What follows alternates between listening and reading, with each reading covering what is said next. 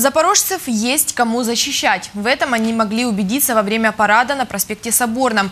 Перед жителями города прошли военные, служащие силовых структур. Под аккомпанемент военного оркестра защитники страны, порядка и жизни граждан, военнослужащие вооруженных сил, Нацгвардии, представители нацполиции, госслужбы по чрезвычайным ситуациям, государственной пенитенциарной службы прошли перед запорожцами, показав и выправку, и решимость, и готовность служить стране.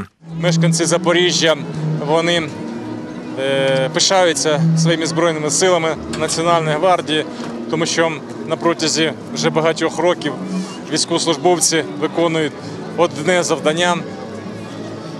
Це конституційне завдання пов'язане з захистом своєї батьківщини. І сьогодні ми побачили озброєння військовою технікою Національної гвардії України, а також безпосередньо військовослужбовців, е, багато з яких безпосередньо брали участь в проведенні антитерористичної операції.